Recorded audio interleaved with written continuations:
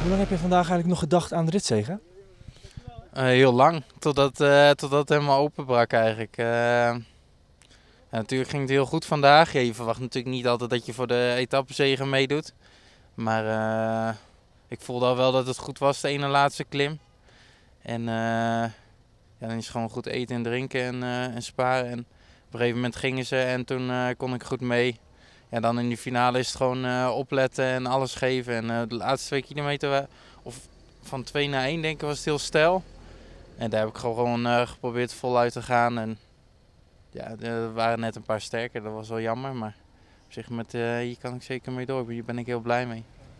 Overheerst dan vooral de opluchting dat het gelukt is zo'n prestatie neer te zetten? Of vooral blij dat, het, dat je bevestigt?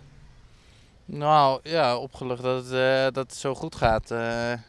ik had wel vertrouwen in dat ik gewoon goed was. Ik, ik zei al, ik voel me dit jaar beter dan, dan ooit, zeg maar. En ja, dan is het wel mooi dat je met dat het uiteindelijk uitkomt. Natuurlijk in het begin van de Vuelta wat pech gehad. En ja, dan loopt het allemaal niet super lekker. Maar nu beginnen de, ja, de goede benen echt terug te komen. En dat is heel mooi. Nu vijfde klassement met op vier seconden van het podium. Ja, dat is heel mooi. Mooi vooruitzicht.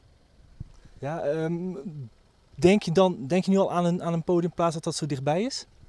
Nou, er komt nog zoveel, zoveel aan. En er staan ook nog uh, Contador, uh, daar kun je altijd nog wel wat van verwachten. Het is gewoon elke dag knokken en ja, zien wat er tussenuit valt en wat er voorbij gaat. Maar ja, het is gewoon alles geven en ja, misschien, misschien zit er wel wat in en misschien niet. Ik hoop tenminste, ja.